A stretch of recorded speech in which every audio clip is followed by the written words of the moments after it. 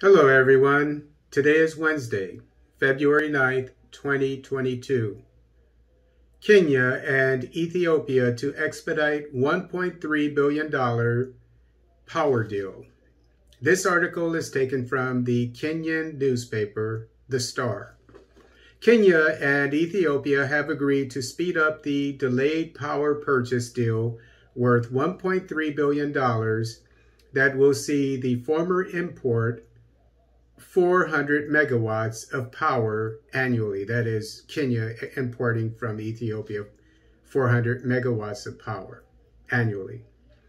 Last week, an Ethiopian delegation led by Finance Minister Eyob Tekalign was in Nairobi for talks with Kenya's Energy Cabinet Secretary Monica Juma the two delegations deliberated on previously signed power trade agreements, finalization, operation guidelines and procedures, wheeling as well as interconnection agreements. They agreed that the interconnection project is a mega project whose benefits spread beyond Ethiopia and Kenya. Tekalign said it was necessary to ensure that Ethiopia and Kenya fulfill the dreams and aspirations of both countries to see the entire region connected to electricity. The value of the interconnection of our power systems is key to powering our aspiration for fast growth, said Juma. The system is an investment of $1.3 billion with a modern 500 KV line, an important vehicle for East Africa interconnection and nucleus for regional integration and prosperity. The Ethiopia-Kenya electricity transmission line is expected to integrate power systems of five countries, including Ethiopia, Kenya, Tanzania, Uganda, and Rwanda under the East African Power Pool, EAPP, master plan. The plan seeks to take advantage of excess capacity within the network and facilitate the trade of electricity between member countries. The power line has been in the cards since 2012, with Ethiopia blaming Kenya for delays even after several lenders committed funds.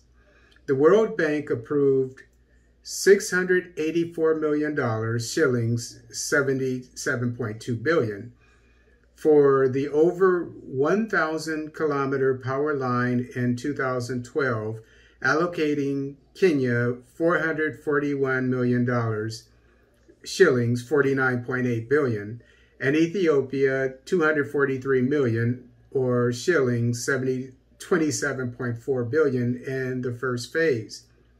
The African Development Bank, AFDB, followed suit, approving shillings 29.2 billion financing deal for the project.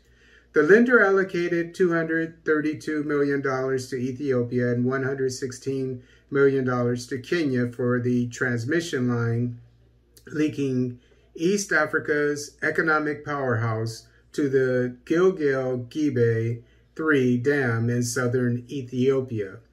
Under a power purchase agreement, Kenya Electricity Transmission Company, KETRACO, was to interconnect the national power grid to the Ethiopia Electricity Power Company by 2016.